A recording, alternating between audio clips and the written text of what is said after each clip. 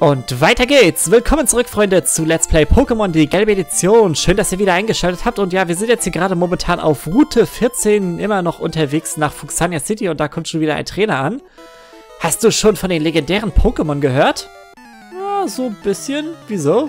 Hast du eins gesehen? Wenn ja, wo? Ah, naja.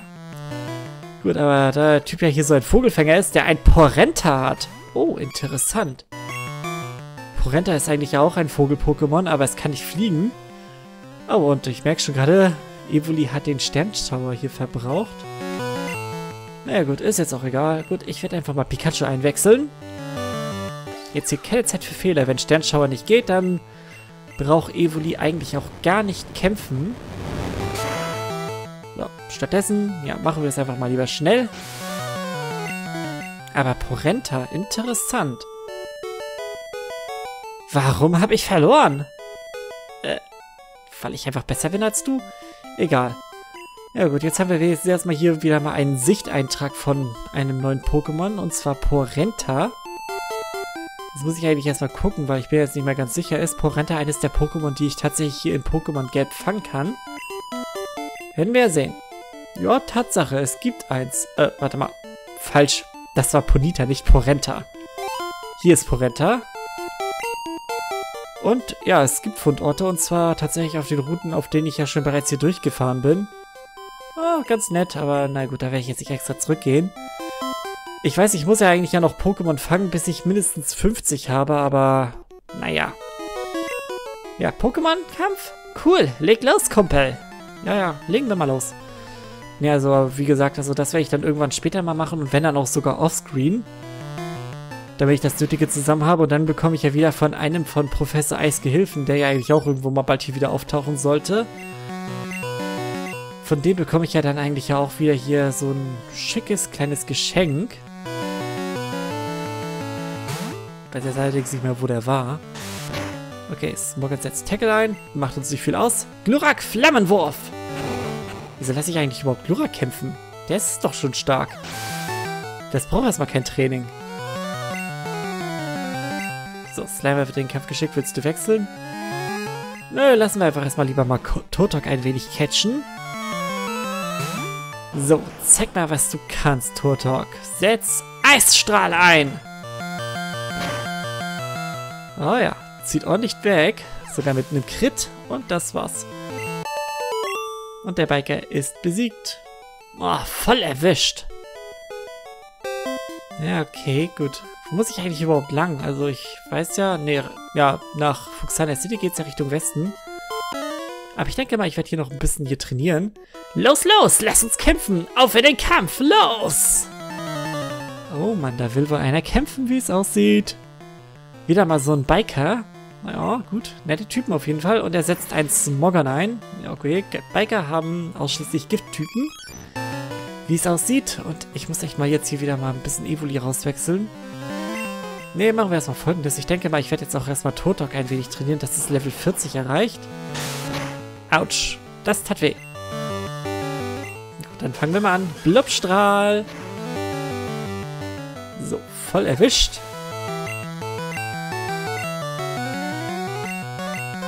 So, wieder ein Pokémon. Und zwar ein Smogon.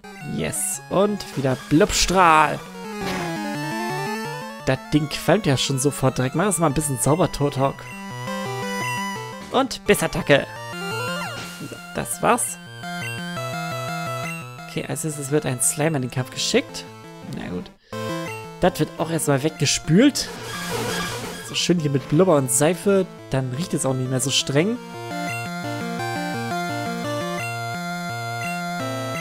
Okay, und nochmal die Bissattacke dazu. Dann ist das auch jetzt erledigt.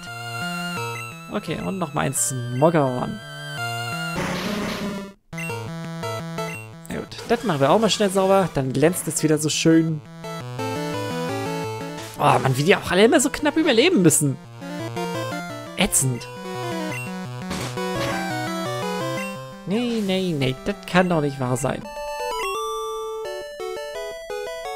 Ah, hau bloß ab. Ja, Entschuldigung kann ja auch nichts dafür, dass ich so toll bin. Sehr gut, ich brauche einen Zeitvertreib. Ja, den bräuchte ich vielleicht auch mal. Allerdings, naja, ich habe es ein bisschen eilig, ehrlich gesagt, aber egal.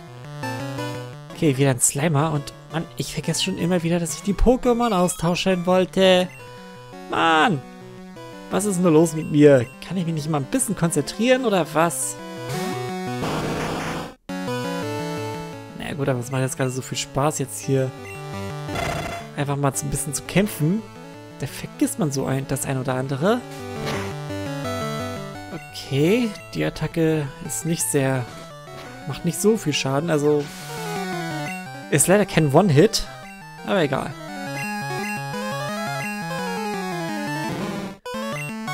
Machen wir einfach weiter. Blubstrahl.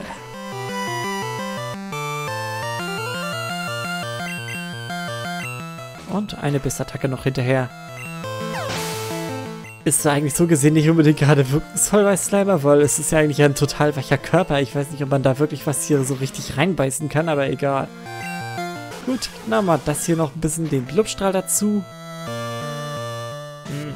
Und schon wieder kein One-Hit. Totak, du musst ein bisschen besser werden. Und Bissattacke. Okay, und Tortag erreicht Level 37. Okay, und der Biker ist besiegt. Du hast mich besiegt? Oh Mann! Oh doch. Okay. Okay, ich würde mal hier sagen, hier ist eigentlich jetzt nur wieder so ein bisschen so ein Trainingsgras. So ein Trainingsfeld. Jupp. Okay, da will ich jetzt nicht unbedingt jetzt rauf. Nee, nee, stattdessen gehe ich lieber hier hin zu dem Typen, der jetzt auch gerne hier wohl ein bisschen aufs Maul will. Ich will nicht unbedingt, aber lass uns dennoch kämpfen. Er will nicht? Ach Mann, warum sprichst du mich dann an? Gibt's denn das? Die Typen sind doch ein bisschen crazy, Mann. Und er setzt Habitat ein. Na naja, gut, warum eigentlich nicht?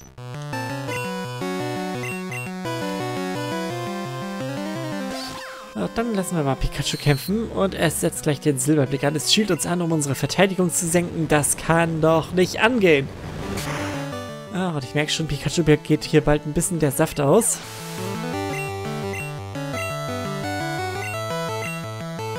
Okay, jetzt kommt er hier mit Ibitak an.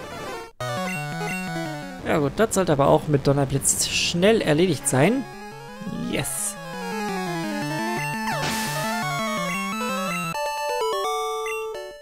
Warte mal. Hat er nicht drei Pokémon gehabt? Ich wusste, ich werde verlieren. Ah, Mann. Wieso wolltest du unbedingt kämpfen, Mann? Was, was, was? Was willst du? Äh, gar nichts. Ich glaube, der Typ hatte heute Morgen ein bisschen zu viel Kaffee, kann das sein?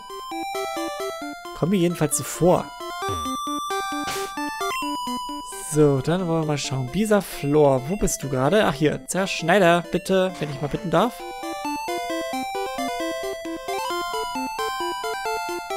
Okay, hier ist tatsächlich eine Trainerin. Oh, und ein Item haben wir auch noch hier. TM20. Okay, was haben wir denn hier hübsches gerade gefunden? TM20 enthält Raserei. Raserei einem Pokémon beibringen? Nee. Glurak beherrscht schon Raserei und ein anderes Pokémon, ich weiß nicht, ob das Sinn machen würde. Pokémon zu tauschen ist wirklich cool. Ja, und bringt vor allem Vorteile. Aber wenn wir gleich sehen, okay, Pipi, das kämpft gegen Evoli. Oder auch nicht. Nee, nee, lassen wir das mal lieber doch Pikachu machen. Und Pipi setzt Metronom ein. Psychokinese. Ah, verdammt. Metronom ist eine fiese Attacke. Sie ist zwar total random, aber je nachdem, was dabei herauskommt, kann es doch manchmal ganz schön wehtun. Also lieber vorsichtig. Komprimator. Und ich merke schon, Pikachus Donnerblitz macht nicht viel her. Okay, Gesang funktioniert nicht. Und Ruckzuckhieb. Oh, ging voll vorbei. Nochmal Metronom. Oh, Feuersturm. Oha. Die hier stärkste Attacke in dem Spiel. Mann, Pikachu triff! Ah, nee, ey. Pikachu, du bist so eine Schnarchnase, ey. Na gut, lassen wir es dieser Floor machen.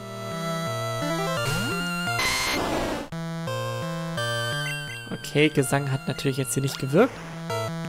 Ne, ne, dann kommen wir jetzt einfach mal Pipi ein wenig HP. Ach, und ja, Pikachu ist ja jetzt natürlich eingepennt. Und ja, gut, das geht jetzt sowieso nicht. Wir sind ja hier auf dem Bike. Okay, wollen wir erstmal schauen. Ich habe ja noch eigentlich Items da. Wo ist eigentlich, das, wo ist eigentlich der Supertrank hin?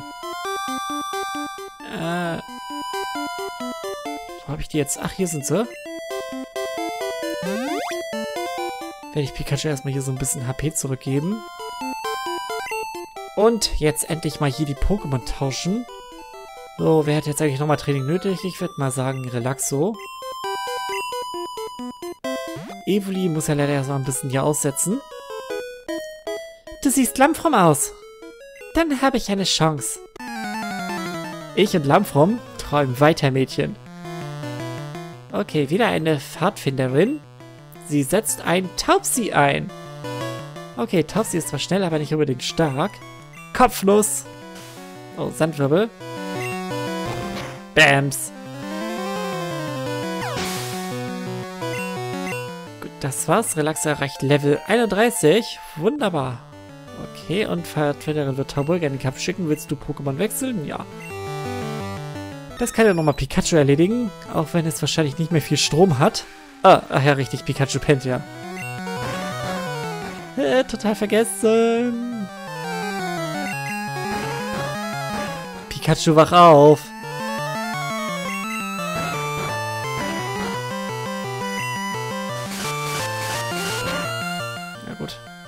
Wäre nett, wenn Tauboga es wirklich wachrütteln könnte.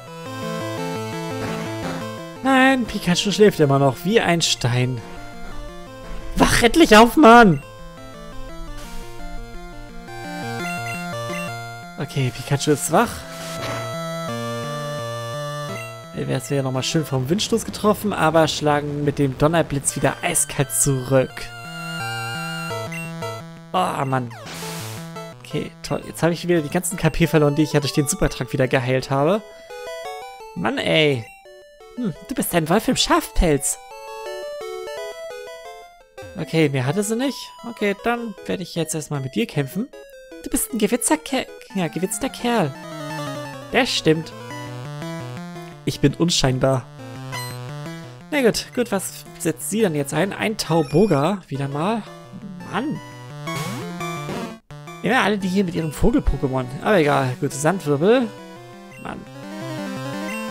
Ging natürlich voll daneben. Wirbelwind blieb unversehrt und BAM! Kopfnuss.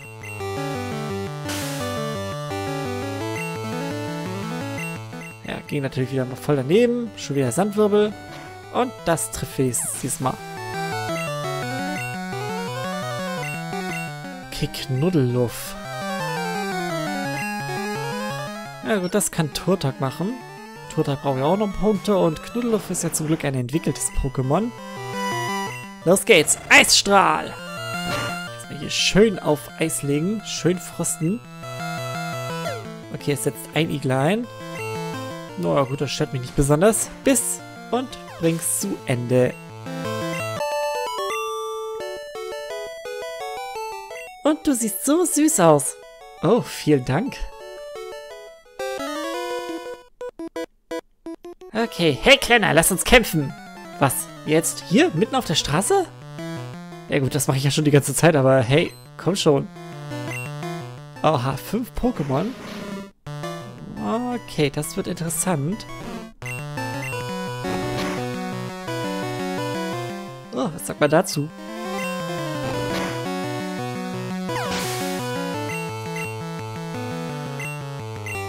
Relaxo ist sogar schneller als die Smogon. Das hätte ich jetzt nicht erwartet. So, noch eine Tackle-Attacke und noch eine Kopfnuss-Bams. Ich muss unbedingt eigentlich erstmal nochmal schauen, welche TMs ich jetzt eigentlich ja nachher hier auf Relaxo legen will. Ah, verdammt. Das war jetzt eine schlechte Idee, jetzt hier dieser Flor einzusetzen.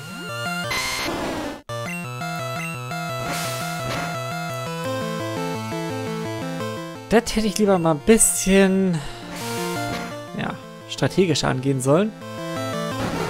Aber naja gut, Smogmog wird ja nicht viel ausrichten können.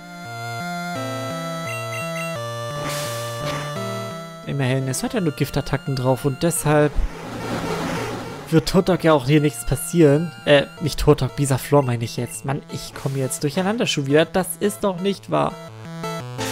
Gut, erstmal noch ein bisschen Smog. Oh, ist das widerlich. Und das war's. Wir sind fertig. Smogmog ist besiegt. Bisaflor erreicht Level 33. Okay, als nächstes wird ein weiteres Smog in den Kampf geschickt und ich will wechseln auf Turtok. Okay, Turtok, zeig, was du kannst. Blubstrahl. Mit voller Power. Ja, gut. 90% gehen auch noch. Aber dafür will ich jetzt erstmal eine fette Bissattacke. In your face. Gut, und dann kommt zu guter Letzt Slimer. Willst du wechseln? Nee. Machen wir das lieber mal so. Erstmal hier wieder schön einfrieren. Boah, sogar mit einem perfekten Treffer. Warum habe ich verloren? Hat mich ein anderer Typ vorhin auch schon gefragt, aber naja. Gut. Her mit deinen Moneten. Wenn du verlierst, gibst du mir dein Geld. Ja, okay. Aber wenn du verlierst, kriege ich dein Geld. Ist doch klar, oder? Okay, wieder mal ein Smogon. Und wir kämpfen mit unserem Relaxo. So, Bams, Headnut. Tackle-Attacke. Das stört mich jetzt nicht im geringsten.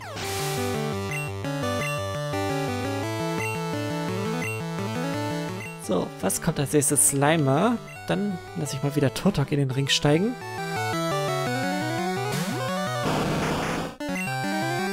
Und setz Eisstrahl ein. Ich meine, hat ja beim letzten Mal auch ganz gut geklappt. Also vielleicht kann es dieses Mal auch wieder ordentlich ein, ja, hier das einsetzen oder so. Genau. Oder was reißen. Gut, das war's. Einmal Biss und dann ist das Ding auch futsch. Und das letzte wird ein Smogmog sein. Versuchen wir es auch mal hier mit Eisstrahl. Okay, super Treffer. Ja, sogar Crit und es ist eingefroren. ich liebe es, wenn sowas funktioniert. Das darf nicht wahr sein. Doch, es ist wahr. Oh, da ist ja noch eine. Ich trainiere Pokémon, weil ich alleine lebe. Oh, du Arme. Das ist natürlich nicht so schön. So eine Schönheit lebt alleine. Da muss man doch irgendwie was machen. Ich meine, hallo? Gibt doch bestimmt einen Haufen Männer, die ja jetzt eigentlich ja jetzt hier so eine hübsche Frau wie dich ansprechen würden. Okay, weiter geht das nicht.